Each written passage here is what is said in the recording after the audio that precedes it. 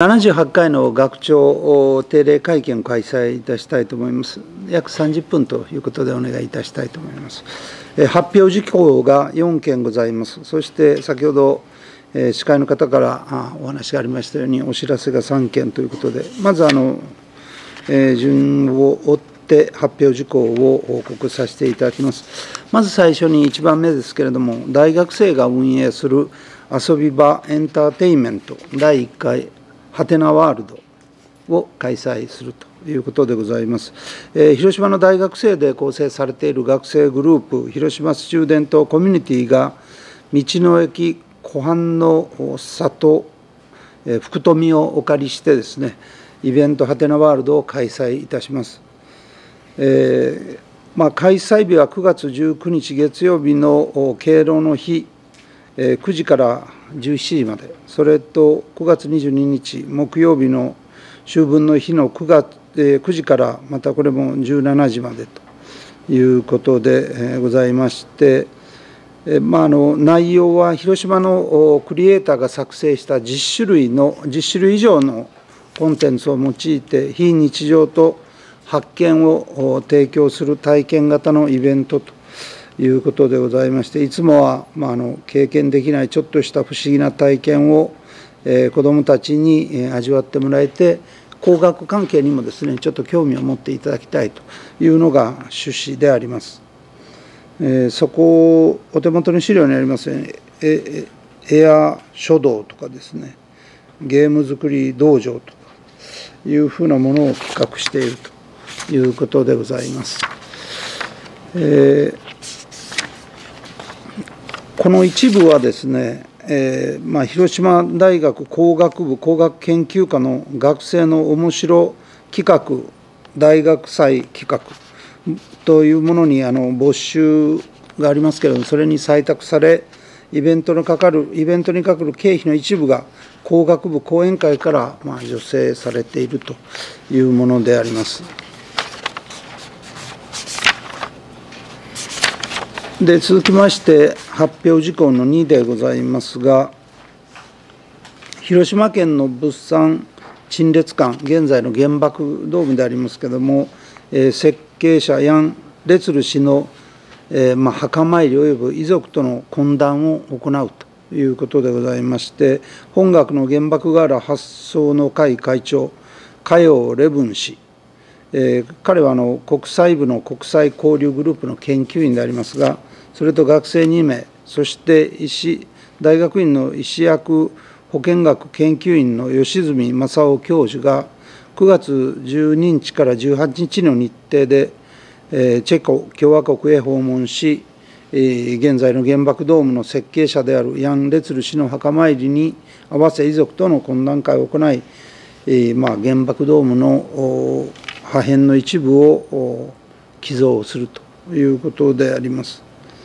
えー、本学からの墓参りは2014年2月に実施して以来3度目になります。えー、今回は初めてヤン・レツル氏の遺族と懇談を行い遺族が所有する遺品などの説明を受けるという予定でございます。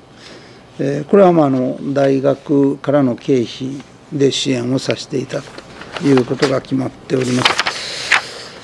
えー、続きまして発表事項3に移ります、えー、中国地方の大学による学外連携事業教育のユニバーサルデザイン化アクセシビリティ推進にかかるリソースの共有共有と、えー、育成を図る取り組みを行いたいということであります。えー、近年障害のある学生の支援ニーズは多様化行動しております。そして支援ニーズが拡大、まあ、傾向にあるということで、そうしたニーズが増大する中、平成28年4月に障害者差別解消法がまあ施行され、就学上の合理的配慮の円滑化が法的に義務付けられましたが、まあ、十分にまだなっていないということでですね、本学では全ての学生に質の高い同一の教育を保障し、評価の公平性を担保することを理念として、これまで障害のある学生への合理的配慮に取り組んできておりますが、学内での対応にも限界があり、対応要領を定めるだけではなくて、合理的な配慮の実効性を高める学外連携を含めた支援システムの構築が急務となっております。こうした中で平成27年に本学を含む中国地方の5大学を創立メンバーとして UENET Universal Design in Education Network を設立し教育のユニバーサルデザインがアクセシビリティ推進にかかるリソースの共有と育成を図る CRSP Creative Resource Sharing Project を開始、えー、しました平成28年9月から大学間における CRS Creative Resource Sharing を開始し CRSP で出てきた課題に具体的に取り組んでいくということになっております。地域の教育機関及び専門機関が連携していつでもどこでも質の高い支援をローコストで誰でも容易に行うことが可能な教育環境の構築を目指しているということで、ございます。でまあ、あの広島大学はすでにですね、まあ、あの積極的に、えーまあえー、障害学生の就学支援に、えーうん、取り組んできておりますけれども、まあ、これを、まあ、広げていこうということで、えー、ございます。よろしいでしょうか。続きまして、えー、生物圏科学研究科と